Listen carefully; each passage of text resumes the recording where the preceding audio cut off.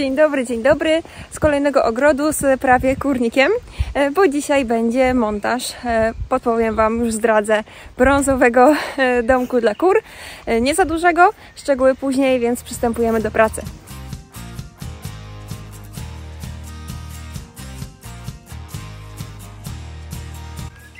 Przygotowaliśmy już fundament, znaczy fundament był wcześniej, my przygotowaliśmy go do postawienia domku.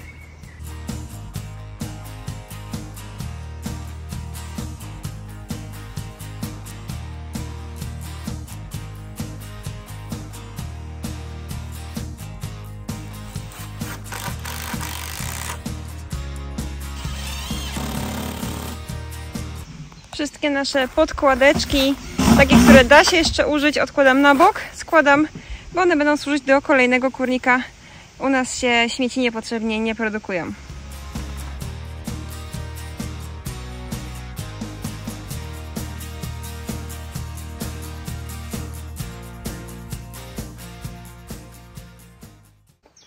Blacha na dachu już gotowa, więc zaczynamy wypełniać e, te puste przestrzenie, które tutaj widać.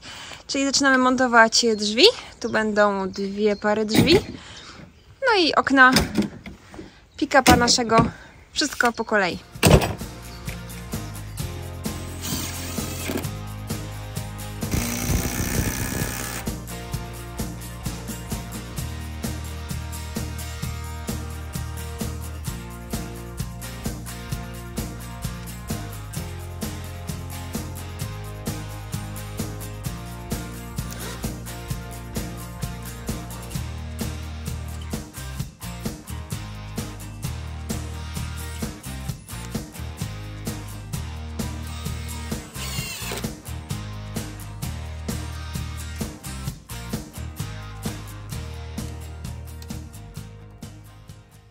Dzisiaj e, dzień drugi. Jak zauważyliście pewnie po przejściu z wieczora w dzień, e, wczoraj skończyliśmy cały praktycznie domek. E, Domek już stoi, ma wszystkie swoje podstawowe i dodatkowe w sumie elementy. Została nam dzisiaj misja elektryka. E, I ta elektryka, e, zaraz powiem w jakich e, tutaj, w jakim zakresie będzie przeprowadzona. Ale zacznijmy od samego domku. Jest to model MIDI w wersji 1,8 metra na 3,6 metra. Kolor taki ciemnobrązowy, ciemny orzech, można powiedzieć, a dach i daszek od gniazd ma kolor grafitowy, taki standardowy.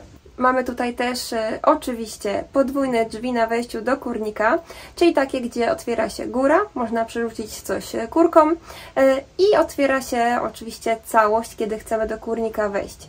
Tutaj też jest zastosowana taka opcja, że są drugie drzwi, takie na wylot, żeby po prostu przejść na wolierę dlatego że była to dużo lepsza i e, po prostu korzystniejsza opcja.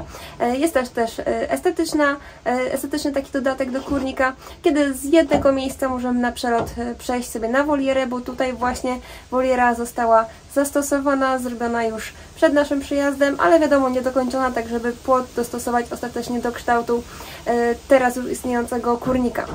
Te kurki będą miały tutaj całkiem duży wybieg e, i dlatego, że one będą sobie właśnie wychodziły. Jest też stelaż pod chicken guard i automat ten, e, drzwiczki automatyczne do wychodzenia dla kurek będziemy też e, tutaj właśnie montować. Także mamy przejście na wylot dla ludzi i przejście automatycznie zamykane dla kurek. Jeśli chodzi o elektrykę właśnie, to będzie zamontowana lampa na wolierze, tam gdzie kurki sobie będą e, wychodziły z domku, no i w samym domku nad grzędami druga. Oprócz tego będzie gniazdko właśnie w domku, chociażby po to, żeby móc sobie tutaj podłączyć odkurzacz, kiedy e, będzie tutaj wyciągana ściółka, która jest sucha nawet po roku, także można ją ze spokojem sobie odkurzyć odkurzaczem, jakimś takim, wiecie, roboczym. E, Przydaje się też do innych rzeczy, jak wiemy od naszych klientów, bo jest to po prostu punkt e, elektryczny, kolejny w ogrodzie, zawsze się przyda. E, I drugie gniazdko, które będzie e, na wolierze, tak żeby podłączyć na zimę podgrzewacz, który również ze sobą przywozimy, żeby woda w poidle nam nie zamarzała od razu, e, znaczy ona wcale nie zamarznie, ale wiadomo, że będziemy musieli ją e, tak czy siak uzupełniać, natomiast nie ma tutaj problemu z tym, że zimą w ciągu, nie wiem, godziny, dwóch przy dużych mrozach nam ta woda zamarza, trzeba to poidło wziąć do domu, e, odkuć tą wodę dosłownie, wlać nową i przynosić, tak żeby kury miały cały czas e, co pić. Jest to dość problematyczne zimą, jeśli zdarzają nam się takie dwa tygodnie, na przykład mrozów non-stop. E, Także jest to bardzo, bardzo korzystne rozwiązanie i ułatwia nam na pewno życie. A wracając do światła w kurniku, jest to po to, żeby w te miesiące, kiedy przeważa nam jednak noc nad dniem, czyli od marca do mniej więcej października, e, żeby troszeczkę doświetlić e, dobę kurom, żeby ta ich nieśność nie spadała tak drastycznie, żeby również w grudniu jajka były. My zalecamy utrzymywanie od tego e, października do marca takiej równonocy, czyli około dwa- 12 godzin wyrównywanie razem z tym świeceniem światła, dnia jakby, a reszta może być już e, w ciemności, żeby kury miały oczywiście jak odpocząć. Wracam pomagać Szymonowi w e, elektrycznych opcjach. E, Także znikam na chwilę, pokażę Wam potem efekt zupełnie końcowy domku, jak już będzie wszystko gotowe i się wyniesiemy z tym naszym sprzętem.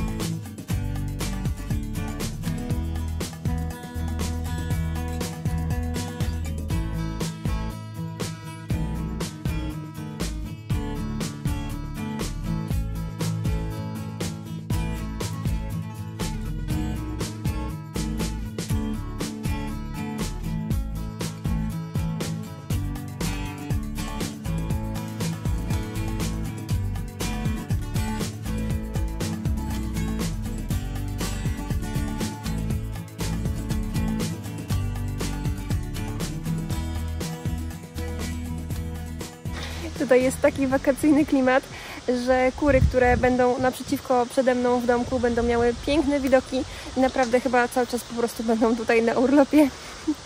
E, Rewelacja, super miejsce, e, ale my się już powoli zbieramy. Bardzo dziękujemy za kolejną super gościnę. Naprawdę nasi klienci są wyjątkowi. Bardzo Wam wszystkim dziękujemy, również tutaj właścicielom e, tego domu i tego miejsca, w którym tutaj byliśmy. Dzięki wielkie i do zobaczenia z Wami w kolejnych odcinkach. Pewnie już teraz z ogrodu, a potem jeszcze e, z kolejnego montażu. Do zobaczenia, cześć!